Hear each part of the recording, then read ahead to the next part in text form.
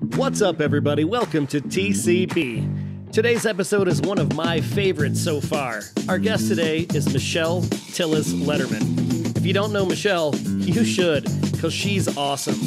Michelle was named one of Forbes' top 25 networking experts and is the author of four books, two of which include The 11 Laws of Likability and her latest, The Connector's Advantage. We're going to talk about that one today. Michelle's a regular in the media, speaking on leadership and workplace effectiveness. She's appeared on most of the networks you watch or listen to, and in many of the publications you read. When she's not doing her thing in front of audiences, she's an expert chauffeur to her kids, an average skier, and a skilled walker of her two rescue dogs. I think you're going to love this one. So let's get right on into it with Michelle Tillis Lederman on today's TCB. Welcome to SkyeTeam's The Corporate Bartender. If you work in HR or make people decisions in your organization, this is the place to be.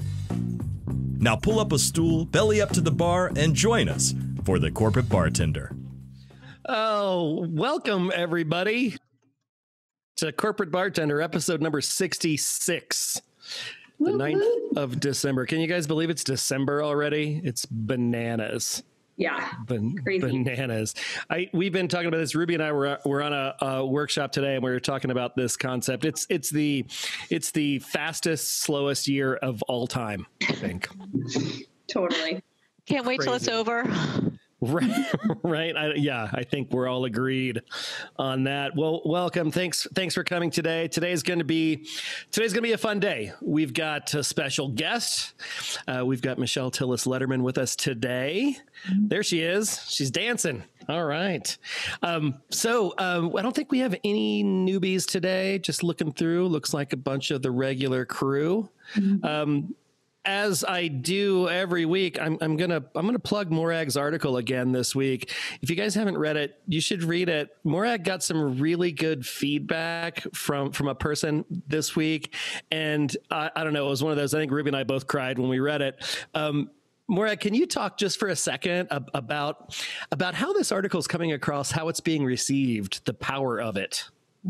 Well, that's what's kind of blown me away. I did it because it was for my own getting out of my box messaging to the universe. Yeah, and yeah. Um, I have received, I've lost count now of the number of personal messages. And yesterday I got a great big long message from somebody who said that this article had landed in their feed at just the right time because they're currently struggling with a toxic environment and how it's impacting them physically, emotionally, mentally, all of that head, heart, core that we learned when we had an earlier episode. And that it, she just appreciated the vulnerability that I'd shown in sharing my story. And so she and I are going to have a, a catch up call next week to mutually support each other through it. But that is the tenor of, for me, it's not just me, but for the people who've read it, oh mm. my goodness, I'm going through something else, and the world is not going to end if I own up to this and do something different. It's been huge. Yeah.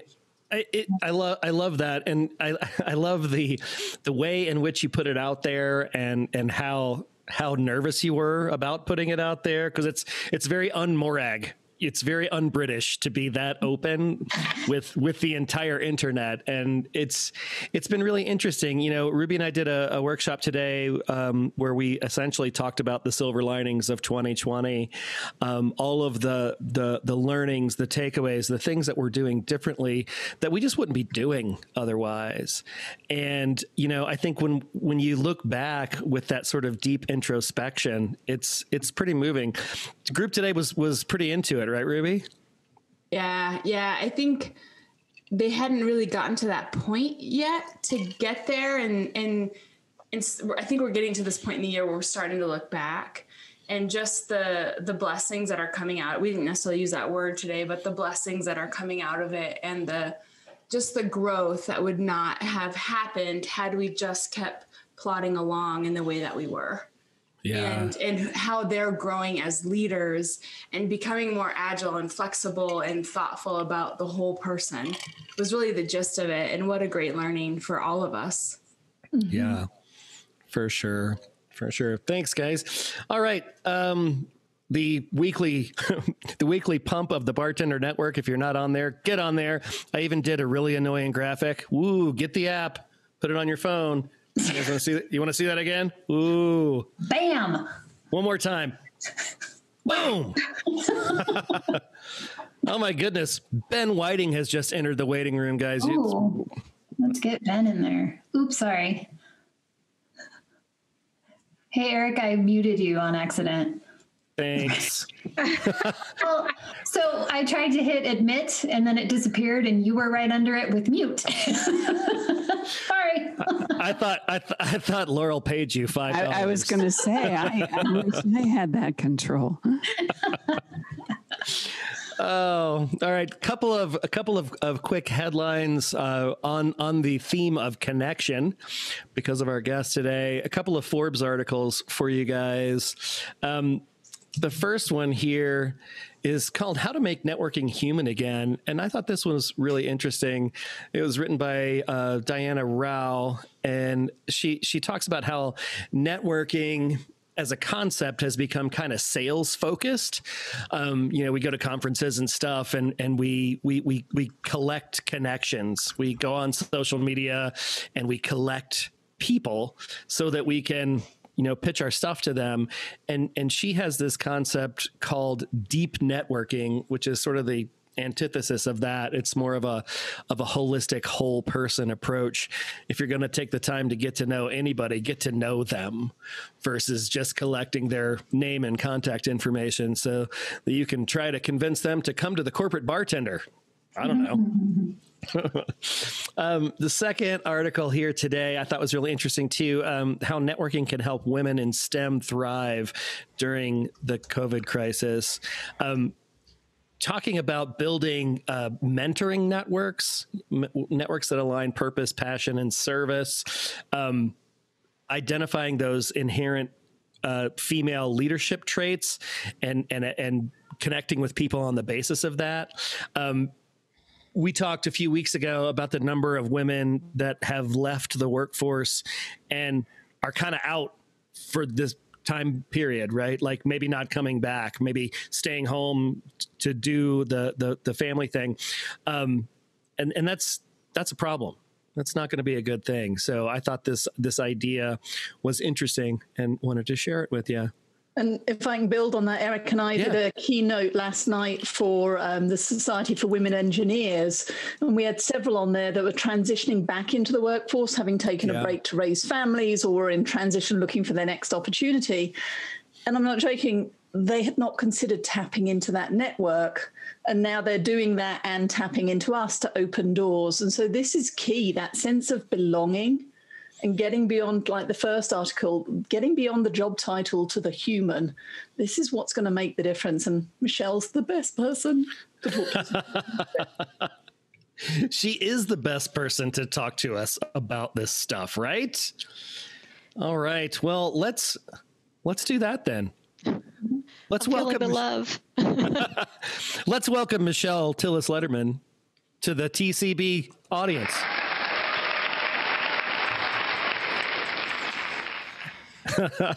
I'm very impressed with the tech. I just, you know, with the get the app and the sound effects. Oh, I did the app thing just to be annoying because I figured Laurel would hate it. She's like, yeah, yeah, I do. I do hate it. so But she has the app. right? nice work.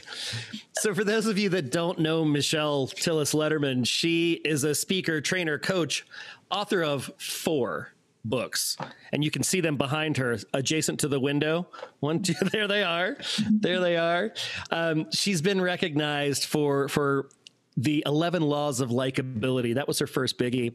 Um, she's been named by forbes as one of the 25 professional networking experts to watch. She's been on just about every tv channel you watch. She's worked with some really big companies and some really really innovative startups. Um, so welcome michelle. Thanks for coming to the corporate bartender. Thanks for having me. I wish I had a drink. i you know that's what we do here Uh, mine's not as interesting. Awesome. Well, hey, so why don't you, if you don't mind, just share a little bit about yourself. Tell us about your your career journey. How did you get to where you are today, being a best-selling author of four books? And be sure to include any weird or or funny jobs that you've had along your path. I was going to say that journey is pretty convoluted, but if you want to know about me, I am an adrenaline junkie. Travel is my vice, and love, love, love animals. And forgive in advance if the dog barks because can't control her. Um, that's me. And, and, you know, it's interesting. You talked about deep networking, and I talk about relationship networking. And one of the things I always say is don't talk about what you do at first talk about what you love to do or you know what you'd like to do or anything else that is not just the job because that's not what we connect on we connect on you know common interests and common people and passions and places and causes and experiences and all of those things. So, if anybody scuba dives, uh, jumped out of a plane, um, loves to travel, uh, wants to know how I was able to bottle feed a Siberian tiger cub, just reach out. I'll tell you What? all about it. Oh, yeah. if you go to my professional Facebook page, and maybe at some point when you guys are talking amongst yourselves, I'll pull it up and share. But um, there's an album called Me and the Animals. And uh oh, you're gonna make me do it right now. I'm not that fast. No, no, no. I, I'm just prepping you. You're you, when you- whenever you're ready, you can pull that up. All right, let's see if I can actually talk and click at the same time. Um, but I have a little album on my Facebook page of all of the animals like across my life. So let's see if I can actually get to them and share. Here it is. Yay. Me and the animals. And I'm going to share my screen. Okay, so I won't like take you, I'll just kind of scroll. Oh my Um, goodness. this pig's name is Kevin Bacon. um, yes, that is me nose to nose with a full bred Siberian tiger.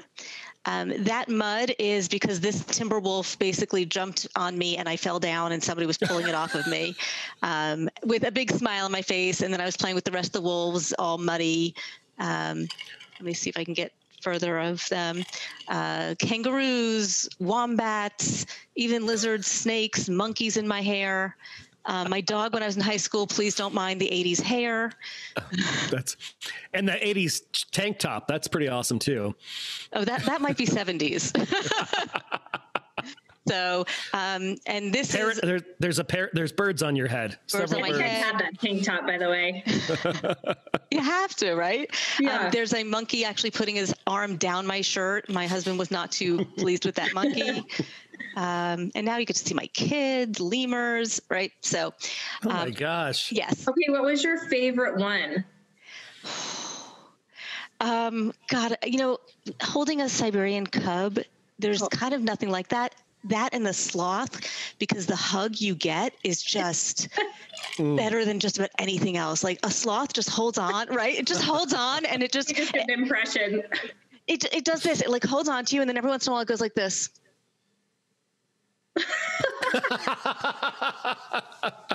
and that's it. And it, otherwise, it's just holding on. So, so that's me. Um, now, Wow. so M- Michelle, it's, it's funny, right? I mean that that was one of the coolest things. Ben, that was that was almost better than your episode right there, just because of the animals. I know, I know. Um, getting to that level of of knowledge, right, is it's not how we're programmed. When we meet people, like if we're at a conference and we meet people, we tend to ask two questions, right? What questions do we ask? I don't want to hear it. when we meet people. You guys know it, right? Where are you from? What do you do? And and that's what company we- do you work for? right. It's all surface level stuff. So you know how do we how do you get past that how do you how do you dive in and and get to the level where you learn that the person you're talking to has bottle fed a siberian tiger cub Okay, so I love this. Uh, when somebody asks, "What do you do?" I say, "Well, I can tell you what I'm doing this weekend," or I say, "Well, I can tell you what I'm dying to do or what I love to do," and I just change the question, which is what I did to Oh. you, right? You asked me about my work history, and I'll tell you. I promise I'll get there, but. I would rather you guys know who I am and what I care about because when you link into me and when you connect to me, we now have something that we actually want to talk about because you have enough information about me to have a real conversation. Um, and so when you are asked those questions, I want you just to change the way you answer it. I am terrible at saying what I do. I don't have that little tight elevator pitch thing. Ugh, it makes me kind of yucky. Um, I can tell you what I told my kid what I do because he had to do it for a school project. And he's like, Mom, I don't know how to explain what you do. He was about eight years old. And I said, Tell people I make um, people play nice in the sandbox. Right. that's that was my answer to him because that's what he could relate to. I said, I help people work better together. That's that's what I do. And there's lots of ways that. you can do that, but what do I care about? I care about people playing nicely in the sandbox. That's oh my God, awesome. Jenny! Every time you move, I just see his face screaming at me. Sorry. I think I think when when when my daughter was about that same age, she had to do the same thing, and she told her class that um, I type on my computer and I talk to people. my coworker told my daughters they were really little at the time. Your mommy makes people cry. oh. Ladies and gentlemen, human resources. Yeah. but then she gives you a lollipop afterwards and a hug. right. Exactly. I can especially relate to Morag's comment. I take the junior high out of the workplace. Yeah. oh, that's right? good. I like that one too. Um, so I, I, can tell you a little bit about the convoluted journey. Um, you know, I don't know if they're interesting jobs, but I was the only woman on the trading floor. And Ooh. I was the only woman on a global venture capital team, and I spent 10 years in finance, and I consider myself a recovering CPA. um, a recovering CPA. Re- recovering. You can take the girl out of accounting, but I still audit my bookkeeper and I still find mistakes. I, you know, Uh, I'm still photographic for numbers, which drives my husband nuts. Literally today, he's like, I need to go to Summit Medical Group and pick up the DVD of the MRI results. And he's like, you know, I need I need to call over and make sure they're open. I'm like, 973-436-1380. And by the way, that is the correct number if you call it. did you did you did you did you, t- did you tell him that they're open till six? Because you remember that too. I said, but I'll call anyway to make sure that you can pick it up instead of me. and uh, you know, so so I really spent my first decade of my career in finance. And if you think about you know finance in the '90s, uh, I wasn't allowed to wear pants. Um, mm. I couldn't. I mean, forget about my nail polish is Hanukkah colored right now. You got the blue and the silver. Um, I wasn't allowed to wear red, like all the same color. Like, so um, it was a time that wasn't friendly to women in finance.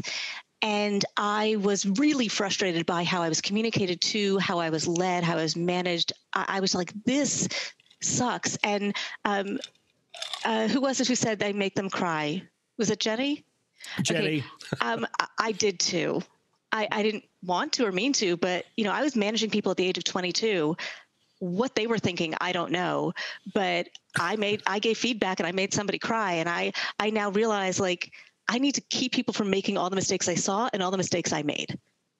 Mm. And that's kind of how it came about. And I started my business back in 2004 while I was still full time in finance.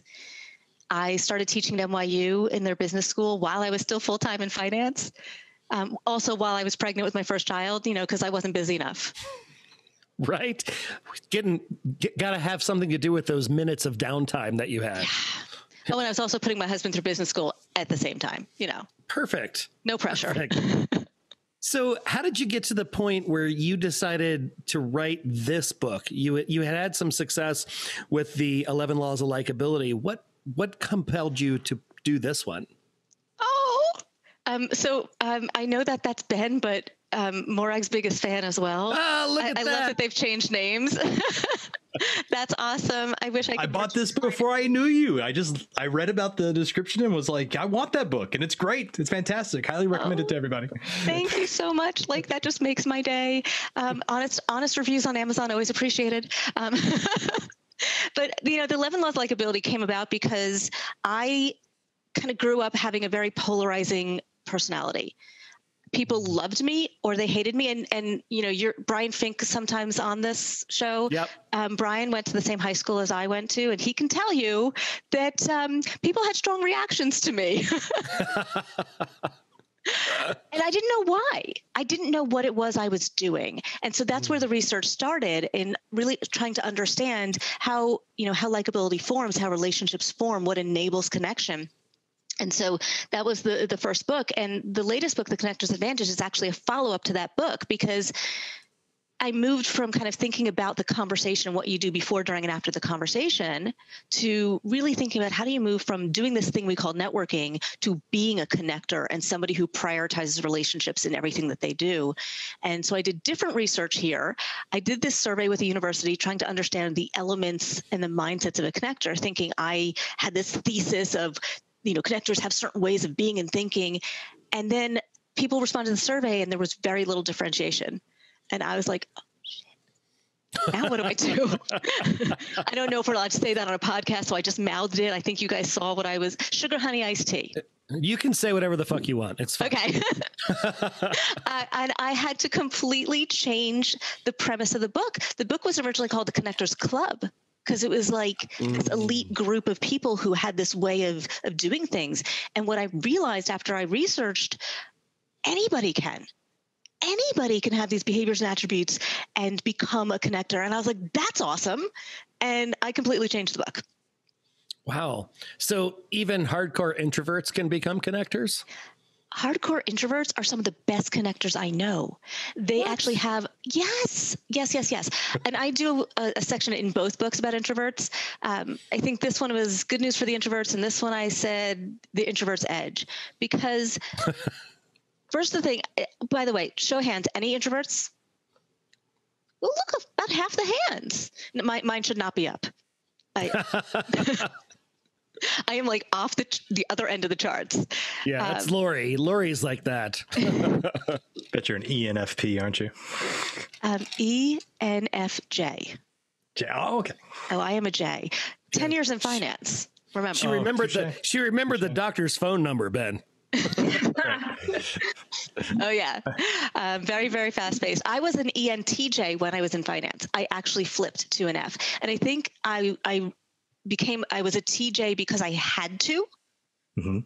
and it was against my grain. That's fascinating. So um, good guess though. What the hell was I talking about? Introverts and extroverts. Thank you. See, authenticity. It's first law of likability. Just be real. Um, so when it comes to introverts, they have some innate advantages in connecting. Um, one of the mindsets of a connector is to be social and curious. And I, am very clear that I don't mean social butterfly and I don't mean life of the party. I mm. mean a willingness to be social with one other person and to be curious about connecting with that person. That's what that mindset means. And I talk about finding your format for doing that a lot of introverts will knock themselves down because they don't do that thing that extroverts do and they don't have to and that's not where connection forms. Mm. connection forms in the one-on-one that's where introverts excel. Connection forms because you are listening you are probing you are um, really trying to understand what you're hearing. Introverts are a hell of a lot better than that than extroverts. Now wow. i would say each side has a strength and each side has something they need to learn from the other so, where extroverts need to get a little bit better at the listening and bringing information in and maybe calming ourselves down a little bit so that we enable people to see past the big, right? That's part of what was polarizing about me. It's my unique charm. um, and introverts really need to think about the share, right? So, mm-hmm. I'm a TMI. I give I give it all away. You've already kind of experienced that with me. I'll tell you everything. And I need to make sure I'm taking time to pull in information about you as well. Right? I need because you have not seen our 80s hair. I can get that 80s hair back within seconds, just saying. if, if, there's no product, it gets real big. Humid day over. um, so so really it's about you know where what are the strengths i'm bringing let me leverage them let me rely and trust and know that i've got this and introverts also not off-putting like introverts don't tend to be polarizing right? Extroverts can, not all, but they can be. Um, and so, so where's the stretch, right? So the introvert might just have to think about when they're posing those questions, pose questions that you actually are willing to share about as well, right? So, you know, if I was somebody who didn't want to tell a lot about myself, if I'm talking about animals, I feel more comfortable because it's a passion, or if I'm talking about skiing, or if I'm right. So find the thing that brings out that energy from you and try to get a conversation going there because it will be easier for you to share as well. So, are, are are people born with this ability to connect, or is it something that you can develop? You know, in your in your book, you have seven levels. That seems that that's a lot of detail. So, how, you know, if I don't feel like I'm very good at it and I want to become good at it, is that something I can do? Of course. That's the whole reason I changed the book. um, and I was so excited that it was accessible and it is truly accessible. And yes, maybe there's some people that their brains naturally go this way um, but it doesn't matter if it does or not because all of this is is learned and and there's seven mindsets that we talk about and uh, i'll list them and then you guys can choose which ones you want me to talk about and i actually have a little three minute quiz that you can take to figure out where you fall on the spectrum so um, which you want me to start with the spectrum the levels of the spectrum or the seven mindsets you pick Uh, spectrum. Okay. So none of you are non-connector, right? You wouldn't be here if you were a non-connector. Don't even believe in the value of relationships. Living in the basement, right? Hillary liked that image, right? so um, sometimes we could be in that first stage of emerging connector. We know the value of it, but we just don't have a confidence. We don't have a comfort. We're not putting ourselves and out there. So, but we're emerging. We see the value. A responsive connector is one that is getting incoming requests for introductions, incoming requests for assistance, and they're responding to them, but they're not initiating anything. So the Okay. first lever to pull is to start to initiate. When you start to initiate, here's how I can help, or here's who you might want to meet, or hey, I'd like to connect with that person. Can you put us in touch? Then you are an acting connector. And that is a great level to strive for if you're not there yet, right? That that might be as far as you need to get. The mm-hmm. connector's advantage is the idea that whatever it is you're working on, whether it's a job, a promotion, a client, a referral, happiness, health, and yes, I have statistics around those too, memorized, can't help it, uh, that you're going to get there faster, easier, and better as a connector. So the further up the spectrum you get, the faster, easier, and better those results will become. Now, the other lever you can pill is the depth and breadth. So when you go deep, deep in a geography, deep in an industry, right? I know everybody in HR, right? Or I know everybody in Colorado.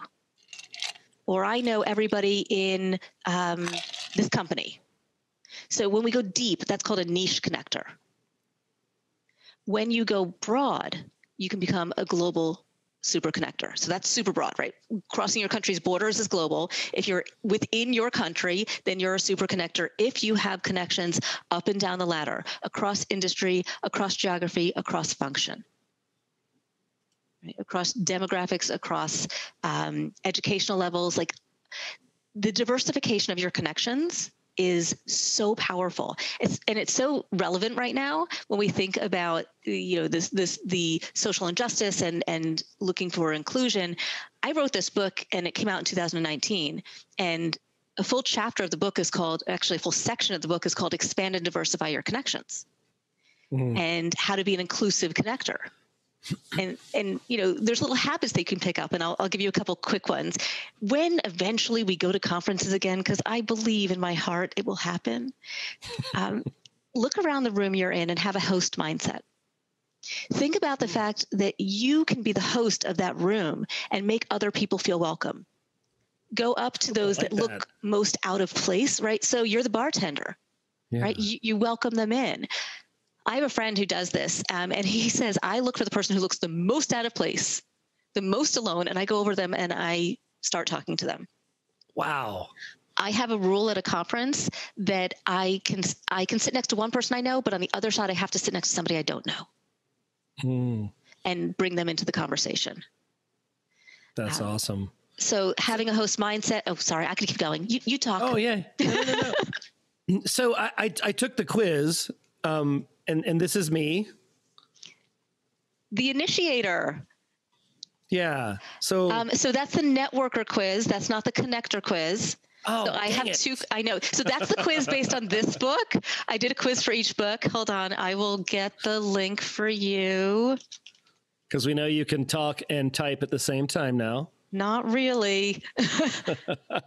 um, nope. Hold on. See, connector quiz. There it is. Okay. All right. And where's the chat? Oh, there's lots of things going on in chat. I should be watching that. This is a chatty bunch, Michelle. Okay. So if I'm missing anything good, just tell me because I, you know, read, type, talk. It's just too much for me to handle. Well, then I'll, I'll shift my question, right? So the the networking styles, the connecting styles, how do they go to? Do they go together? Um, they're they're they're similar, but it, it does not relate to the spectrum, right? So Okay. the, those seven levels of a, of a connector, um, you can be any one of those levels when you take Okay. that quiz. Um, so they're telling you different things. Um, I didn't even know that networker quiz was still out there. Well, because when when I got it, I was like, well, I don't recognize that word, but I'm sure there's method to the madness here. Yeah, you know, I, I I love a good quiz because when you kind of people love to hear about themselves and to learn about themselves and if i can kind of say okay so this is where i am these are what i'm doing really well and this is what i can do to grow because i'm all about the stretch i'm all about well great i'm really happy with this. Now what else? Or what's mm-hmm. next? Got it.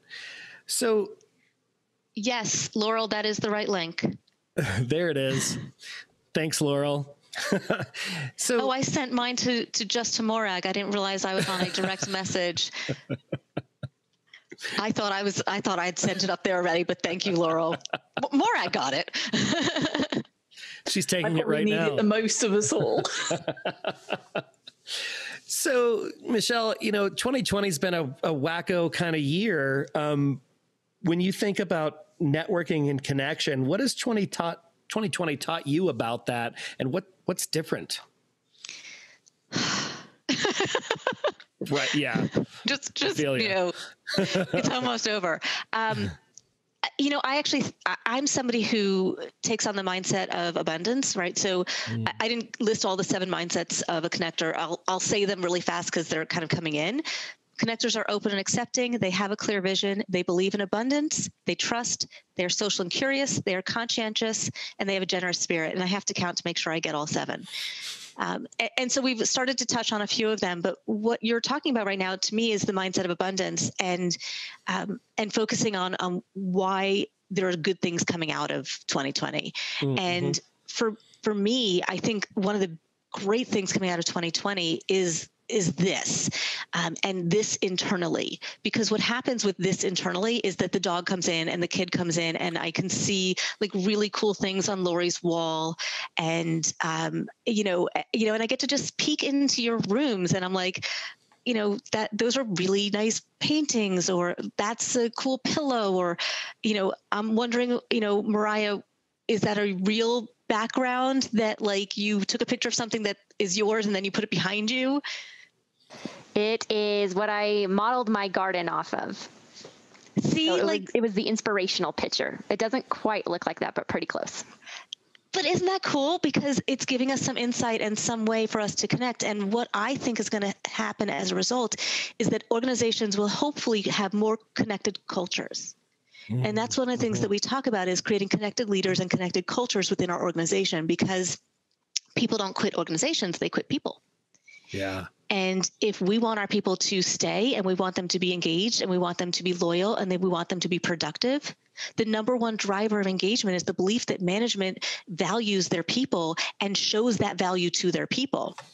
And when you have high engagement, you have high productivity, and people, um, organizations with high engagement outperform those without by over 200%. Wow. So, you know, it's very simple to be a connected leader. You just have to think two things care about the people and care about the things that people care about. That's it. Show you care about them as people and show you care about the things they care about. Everything else that you do will fall into one of those two buckets. Huh. Yeah, well, we know you care about animals. We know this now about you. You know, it's funny. Ruby and I were, were we were doing this this this workshop today, and we mentioned it earlier. Um, just talking about the levels of connection and the things that have come out of this time that have been really interesting. And I love what you said about, you know, sort of seeing into what's going on in this little square.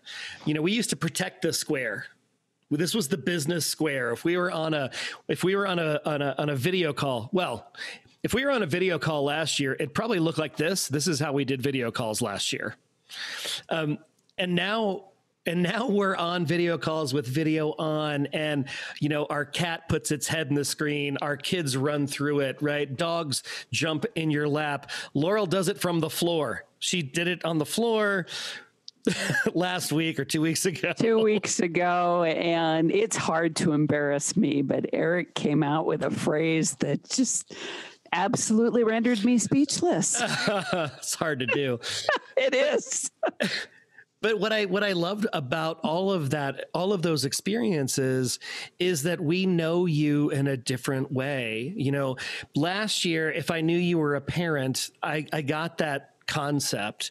But this year, I saw your two toddlers crawling all over you, and I have a whole different appreciation for what you're experiencing right now. And my ability to empathize with you is totally different that's the other word I was going to bring up. I do think we have greater empathy. And we talk about, you know, bring your whole self to work and all those phrases. This is bringing our whole selves to work because everything is here right now. Um, and so I think, and I hope that that empathy, that understanding, that connection continues beyond the box. And, and I think that's something really positive that can come out of 2020. I also think that 2020 has given us a great excuse to connect and reconnect because of the social isolation and um, the, the physical distancing. Yes, good choice of words. you, you know, you don't have to be socially distant, you have to be physically distant. And, you know, there's a, there's a welcoming of people reaching out more randomly. And mm. I you know, I have been more in touch with my friends from business school, my friends from college, um, you know, even my neighbors. Like, I've had them to my backyard. I have I've been able to like make about four pods in my backyard, and they bring their own drinks, you know, and we just sit outside and and we have a little fire pit and it's great. And you know, I had people from college drive two hours to sit in the four pods in my backyard. um, so, you know, I think it's given us that time to strengthen connections that are already there, to reconnect, um, and to have that family focus. I mean, I can give you loads of negatives, but with a mindset of abundance that I yeah. really try to focus on. When somebody says, "How you doing?" I give the big sigh, and then I say, "Feeling grateful." Mm. I love it. So, if, if we could do one thing to become better connectors in this crazy, wacky 2020, what's the one lever we could pull? Okay, so two things came to mind. It's it's fine. I expected that. Yeah, you, yeah. I'm I'm never kind of going down the the, the straight and narrow. Um, so one thing that we can do is um, when we're in a conversation, ask the question. You know, what are you working on? What are you focused on? Who do you want to connect with? How can I help? What do you need right now? Any of those questions. You pick the one that you like, but ask that question and be able to answer that question. Ooh. Okay. Yeah. So asking that question is the spirit of generosity, that mindset of generosity. And being able to answer that question is having a clear vision because you will not get faster, easier, better results if you don't know what results you're looking for. And that result doesn't have to be big for the first year this book came out, my answer to that question was I'm trying to get to 100 reviews on Amazon. That was it. Uh, no big thing. I just if you if you read the book, honest reviews appreciate it. That was my thing. Yeah. So that's one. The other is um, don't hesitate. We always say, have. Hmm? Yeah, say say more about that. more. It's it's like every single review is if you you know if they tell me they like the book, please please put a review. Even if you don't like the book, please put a review. Mm-hmm. All, all honesty is all appreciated. yeah, that's right. I don't mind, good or bad. Just write one. Ten thousand copies out there and 75, 78 now reviews. I did break a hundred. I think I'm at 115 or something on the new book. Something You're like a goddess. um, you know, and and I and the funny thing is, I had more reviews on this book than I had on this book, and this has been out for like nine years and has in twelve languages, and you know, so it is. You just people don't think of doing it. Um, so that's a, oh, that's a third thing. So think of doing it, right? If we have that mindset, Laurel's laughing at me. Um, if we have that mindset of, you know, what could I do to add value to somebody else, and instead of waiting for them to ask offer it like think of it and and say well hey here's something that might be of interest to you or here's uh, you know would you like to meet this person? or or you know could i give you a review on on on linkedin? or whatever it might be.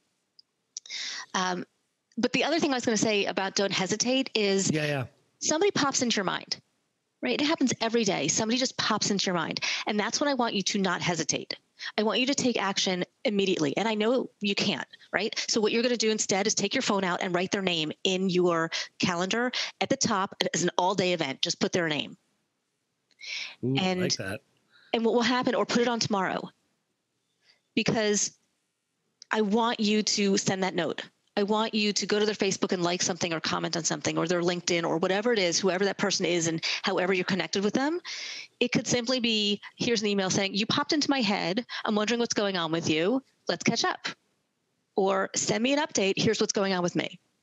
They don't have to be big. Yeah. I, I, I have a, a networking system that I created when I was looking for what ended up being this job, um, working with Morag, and it's called 2515. And that's a key component of it right? It's it's that's that's how you get to the number of of reach outs that you're trying to target each day right? When those people pop into your mind that's what you do. You text them you you call them you leave them a voicemail right? And and and you you say just that right? Thinking about you today wondering how you're doing love to catch up sometime no ask no ask That's what I call a light touch. And I want to come back to the idea, but right now, Mariah's going to have to share her screen and show everybody that picture because there's like something really cool going on in the chat. And we all want to see the garden, Mariah. I wasn't trying to be distracting. Sorry. No, no, no. I, I want to see the garden. So All right, share your see. screen so we can all see it. So this was right after. Can you see it?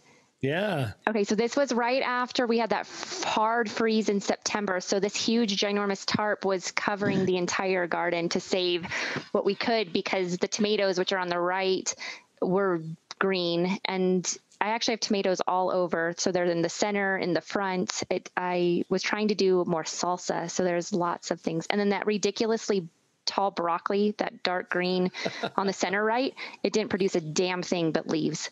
So, but I kept it going. And the leaves actually are really, really good sauteed like collard greens. So, mm-hmm.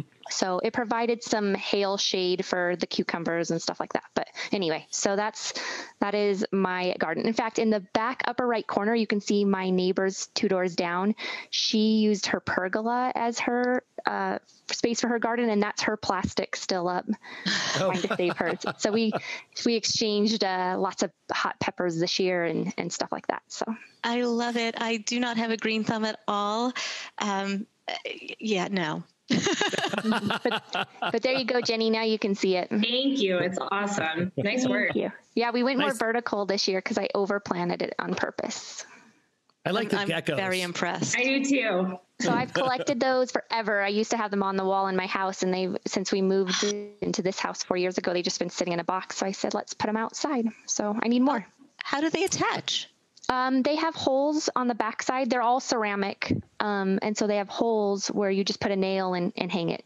Oh, So, love so yeah. it. So I go to different merchantiles or whatever that I can find, and and they're there. See, this just I think makes actually me so happy. the far left one, my one of my sisters made me too. So. How cool. that's Um, awesome So, like, here's a light touch. In you know a few weeks, you can send a note to Mariah saying, "How's the garden doing?" Right?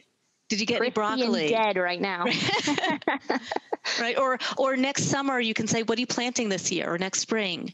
right? That's what I mean. And if she pops into your head and that garden pops into your head, which it will, you are going to get so many notes in the spring asking what you're planting. or did I get want- the seeds from China? Oh, I did not. right.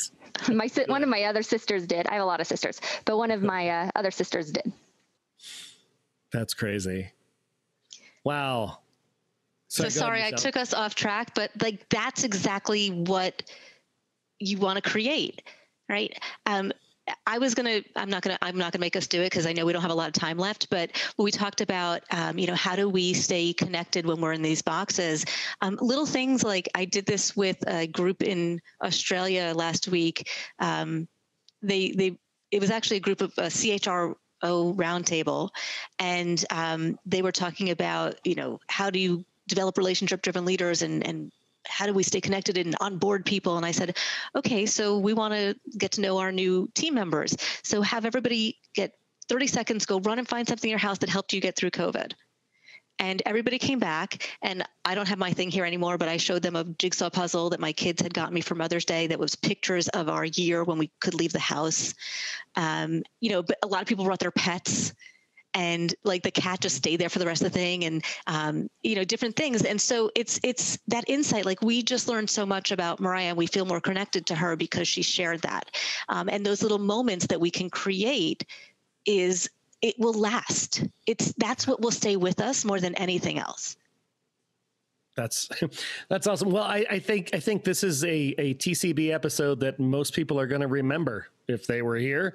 We tcb the corporate bartender. oh I was thinking TCBY. It's the 80s reference. and that's where my Every- head went. Everybody loves Froyo. Everybody I think loves Laurel Froyo. got knocked off her chair. Oh dear. She's on the floor again. oh, well, guys, do you have questions for Michelle? What questions are coming to mind for you? Sadly, I have to roll, but I cannot wait to watch these this Q and A later on the uh, in the TCB archives. So uh, Michelle, Ben- thank you so much for this, and I had it a second ago. I think I put it back on my shelf. But yes, you're awesome. I appreciate this. Um, thank you for the kind words. It really made my night. And um, if you're interested in the follow up, I'm doing this gift of connection. Did um, did I send you that link? Just go ahead and pop it in the chat. Oh man, you're gonna make me like uh, type You're again. You're working today. I'm really bad at oh Michelle. All right. So I here's another thing. If you are thinking about this holiday season, reaching out to people and connecting with people, or you have to give you a gift to your team, I wanted to make it really easy. So I'm doing this little package where you get the book and a bookmark and a personalized note, and I autograph it as you want me to, and I put it in a nice little bag and I send it out for you. And so if if you want to, and some people are buying it for themselves, and that's fine too. I don't care. But um, I just love the idea of people open bumpy mail. Yeah. Bumpy great. mail. Bumpy mail. Bumpy mail gets opened. That's It awesome. does. All right. Thank you so much for that link, and I'll probably get one for myself. Thanks, Ben. Thanks, Ben. Eric, Thanks for Brian, coming, it'd be buddy. Great Good seeing to see you. everybody. Hi, Ben. Bye. Ask me All right. questions. I love questions. So Laurel's I'm back. a, I'm a recruiter and have been one for a very long time. And so I took the quiz and I'm an acting connector and I can relate to that right now because of the fact that I'm not at the super connector anymore. And that's because I've pulled back more. So it'll be interesting to see, uh, or it's, it's interesting to see where I have been and where I should, I need to go back to. It's if you want to, hmm right?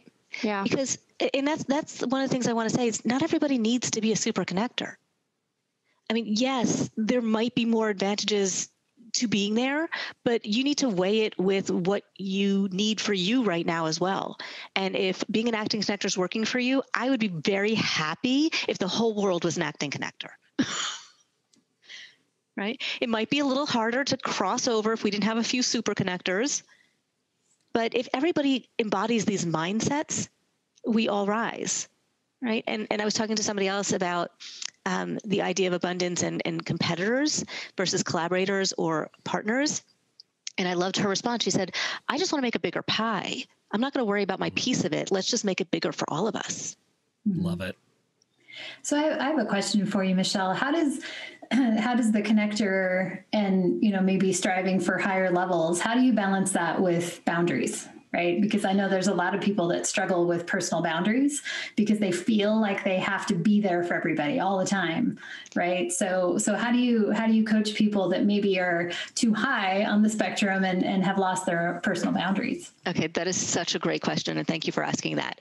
One of the mindsets of a connector is conscientiousness, which means connectors do what they say they're going to do. They follow up, they follow through. And part of being conscientious is understanding what you're willing to say yes to and what you're willing to say no to. Mm-hmm. Um, and the idea of boundaries is also something I talk about in a generous spirit because when we think about a generous spirit, um, we also need to be generous with ourselves. Mm-hmm. So, um, and, and, that's something that we are not very good at. Uh, one of the things I teach is how do we say yes and no without, you know, making it a one-word answer, because um, it should probably never be a one-word answer. Yes, if, yes, when, yes, with, yes, after. Yes, but. Yes, but. I like the no but, right? right? Because the no but feels feels good, right? Because no doesn't feel good, but when you can say no but, it feels good. Like no but there's a possibility of getting a yes down the road, or no but here's how I can help you, or no but, right? And so it still feels good for everybody. The yes but makes me nervous, mm-hmm. right? Mm-hmm. But but I'm okay with it too. Um, so it, the idea is to be really clear, and, and I'll give you an example for me. You know, I'm asked to do uh, talks a lot, like a lot of pro bono talks, and it was really hard. And I, I hard to, to say no because it's like you know you're flattering me and mm-hmm. you know um, but i have two kids to put through college eh, you know and, and mm-hmm. there needs to be some balance so i came up with criteria with which I would say yes to a pro bono, and it had to do with the number of people in the audience, the distance from my home. They had to be a nonprofit. Um, there was, you know, things that I would ask, and then I would say, listen, if you can get this many people in the audience, then come back. Mm-hmm. Right. Or um, if you want to do a book purchase, or right or come back to me next year because i have only so many slots a year and and so it made it more comfortable for me to say no and let them know what the basis of that no was.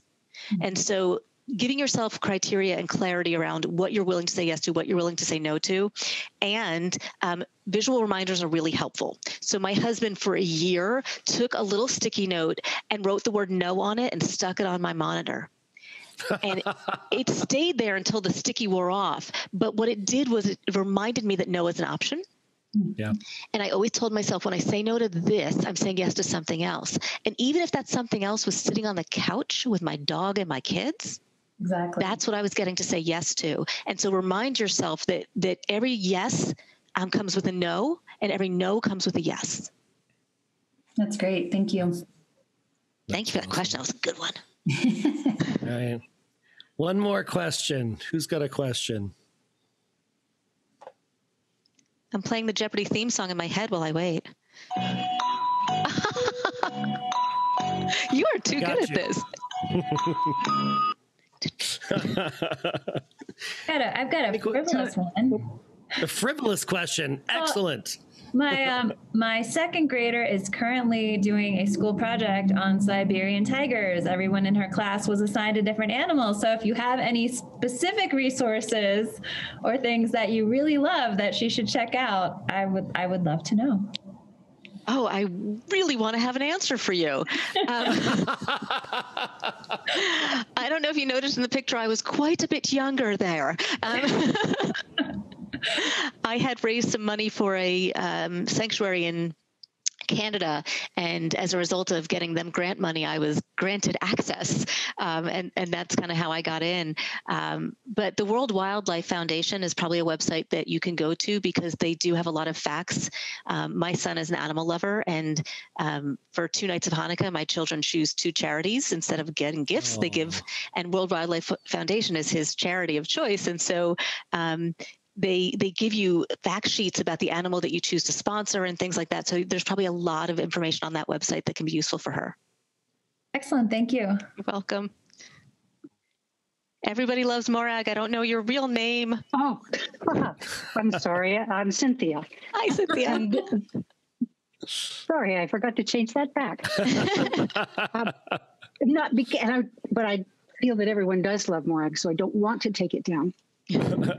I have a, a step question on this, which is I look at myself and I'm really good at going deep with people really fast. I I find out all kinds of things about people. Where I then struggle is to bridge what feels like a friendship to go to the ask. And so I wondered mm. if you had some thoughts on that. I, I love that that you have this skill, and um, you know when you are in that conversation, by posing the question that I gave you before around what they're working on or what's important to them or, you know, how you can help, it invites them to ask that back. And if they don't, you can ask them the question of, you know, I'm so glad, and, and here's our follow up. And maybe you wait to that follow up where you then do the thing that you said you're going to do in terms of adding value to them, that you say, you know, may I share with you what I'm working on or what I'm focused on? And once you've kind of gone deep and you've created connection and you've added value, it's very unlikely that they're going to say no. And then, well, no, Laurel, but... Laurel might, Laurel might say no. um, you know, and and the thing is, when you do that, we want to make sure that we don't make them feel bad for not having asked, because what happens is, oh yes, of course, um, and then you can say something like, "I knew you were going to ask me, but I was so excited to share this." Mm. Mm-hmm. right? Because we don't want to make them feel bad because they didn't invite that information in because they might be an emerging connector and they haven't built that muscle memory around the ask yet, right? Um, Thank you. That's or, really, really helpful. I'm going to give you one other tip. Um, Yay. And that's the idea there is, I keep getting a little feedback on that. Hopefully you guys are not. Um, mm-hmm. the, the idea is to ask advice, right? So if we position something as a non ask, right? Or um, as advice. It's not asking them to do something for us. It's, you know, um, I would be curious. Uh, this is something I'm working on. Have you have any experience or any ideas for me? So, the way this sounded when I was, you know, launching my book, I have 30 experts as part of my book, right? They all contributed to the book, and in my conversations with them before we got off, I'd say, you know, listen, you know, if they were an author or even if they weren't, I would say, you know, you've done this before or um, you know a lot of authors. Any you know great tip that you have for making this a bestseller? Right? Or you know Ooh, this is my goal yeah. this is my my mission this year. What ideas do you have for me? Or you know would you help me brainstorm? Because when you tap into that advice idea and that brainstorm that they want to be valuable they want to add value it feels so good and mm. one of the things to remind ourselves is that when do you hear do you hear that my my my son is oh okay good oh. I'm so glad he's he's jumping and running over my head right now and the whole house is shaking. I was like okay it's not an earthquake. Um, um, I lost my train of thought very easily, but what I was saying is um, when when you invite somebody to do that, if if you don't give them the chance to feel good of helping you right it makes it easier to ask for something when you're thinking i give i'm giving them the chance to have that great feeling because it does feel really good to feel valuable and people do love to talk I'm I I wouldn't know that at all. oh man, that was amazing. Thank you so much, Michelle, for hanging out with us today. Big ups to you. Big applause. All right, let's let's get on to the funny stuff and get you guys on out of here. So funny things today. These are all 2020 funny things because there are meme competitions now for the best one, and it is a target rich environment. So uh, Funny thing number one here History Essays in 2053 explain the use and role of memes as a coping mechanism during the coronavirus pandemic of 2020. Uh, this one is uh, seasonally appropriate. You're home alone ordering pizza in 2020. Leave it on the doorstep and get the hell out of here. you filthy bastard. You filthy you needed, bastard. You needed the last part of that. I, I knew you would add it. I knew you would add it. I love that movie. I love this one. What an absolute dystopian hell world we are living in. It's a COVID 19 testing site sign with a Pepsi logo on it. Wow. It's near Walmart. And Right. yeah, what? Is that what you have to do? for the- Drink Pepsi. It's the Pepsi challenge for 2020. Can you tell the difference? That means you've got COVID or you don't. One or the other. I can't taste a thing. Right. Uh, this one made me laugh. I think 2020 is the historical equivalent of the tunnel boat scene in Willy Wonka. Uh, kids in 2055, when they see that there's a different history unit for every week of 2020. and last but not least, my favorite funny thing of the day if 2020 was a plate of nachos. Uh oh. That might be my dinner if I don't get a wriggle on, but yeah. Oh, today's feel good story. This is this is the world's worst cat. She's a four-year-old domestic short hair, and she was brought in after the death of her owner uh, to a shelter. And the staff quickly figured out her personality, and they decided to go uh, with the honesty is the best policy approach. So this is the ad they wrote. Meet Perdita, not for the faint of heart.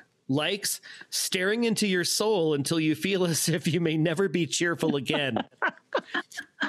the song Cat Scratch Fever, the movie Pet Sematary, Church is her hero, jump scares, her specialty, lurking in dark corners, being queen of her domicile, forcing shelter staff into thinking she's sick. Vet agrees. She's just a jerk. Disli- dislikes the color pink. Kittens, they're too chipper. Dogs, children, the Dixie Chicks, Disney movies, Christmas, and last but not least, hugs. She's single Sloth and ready to be. She's single and ready to be socially awkward with a socially awkward human who understands personal space. she she, she generated 50 responses, and these are her new loving owners. Perdita, the worst cat in the world. So she is the mascot for 2020. Number two, she has the worst bang cut I've ever seen. Yes. Yeah, the, the only thing that would make that cat worse looking would be a, like a, the little Hitler mustache. That would be Yeah, terrible. yeah, the little black. the little maybe- black spot. Maybe paint some eyebrows on her or something. I don't, I don't know. It's like that butt cut that's parted in the middle. Oh yeah. Oh, Are you Wow. body shaming the cat? Kinda. that, I'm that's, going to hell. yeah, that's We the we all are. 2020 version of there, there was a dog this got to be 10 years ago now and it had been trained as a um, an assist for blind people and failed with its first blind owner and then failed with its second blind owner when they realized this dog intentionally walked its blind masters over open manhole covers Oh my god! popped two of them down the open manhole That, that dog's an assassin. wow. I want to know about the person who trained it. Yeah. Oh, yeah. No kidding. Right? just a warped sense of humor. It wasn't me this time. Uh, today's today's semi quarantine cocktail is just well aliens. So riff on the cranberry old fashioned. So I don't know if you guys saw the article uh, that populated yesterday across most news platforms. Started I think in the Jerusalem Post. Uh, Haim Eshed was the head of the Israeli Space Security Force uh, for 30 years. 30 years, right? So dude knows a lot of stuff. So anyway, this is a riff on the cranberry old fashioned. It takes three ounces of bourbon whiskey, one galactic federation with which we've been dealing for years. One ounce of cranberry simple syrup, uh, a secret base on Mars, complete with Americans. Uh, three shakes of Angostura bitters. Um, Space Force makes a whole lot more sense to me now little orange peel, little cranberry, little rosemary. Uh, also, Trump That's knows Rosemary's Baby. in the article, he says that Trump knows of these aliens, and the Federation stopped him from letting the cat out of the bag on more than one occasion. Well, fuck. And How'd Stacy, do that? This, this is for you, Stacy. I'm ready. Look at the screen. I am. yes! Yes. Giorgio Tsoukalos. Stacy has a thing for the ancient aliens. they just came out with a new season. You know, me- that's just in time for the holidays, everybody. He's got the best hair, even better than the little cat. Guys, thank you so much for hanging out today. Michelle, thank you. This was amazing. Easily one of my top five favorite TCB episodes. Guys, buy her book, connect with her on socials. How do where do we Write find a your book, review. Michelle? Write, write a review. Read the book first. Where do we find you, Michelle, out on the socials? Um, the, you know, the best place to start is my website. So the link that has the Get to Connection, um, if you stop at .com, that's my website. From there, you can link into me. Um, the Facebook professional, you know, you already saw my hair in the 80s. You don't need to see more. Um, Twitter, Instagram, I'm on all of them. Uh, I've got a blog. I've got a YouTube channel. Um, I've got a weekly newsletter with tips and tricks and videos and things like that. Um, and that you can that if you sign up, you get a whole bunch of other things like free chapters to books and um, a video series and things like that. So um, I tell me that you saw me on TCB, not TCBY, um, and I welcome connecting with all of you. That's awesome. The the newsletter is great. Um, I hate newsletters, and I get three of them, and one of them is yours. So, yeah. Thank All you. right. Well, Michelle. this is awesome. thanks everybody. Thanks. Nice to meet everybody. Bye. Thank you so much for joining us today. If you had a good time and learned a thing or two at today's happy hour, please share it with your friends. If you want to join our tribe, head on over to skyeteam.cloud forward slash TCB or email us at info at skyeteam.com. That's S K Y E team.com. Thanks again, and remember, you've always got friends at the Corporate Bartender.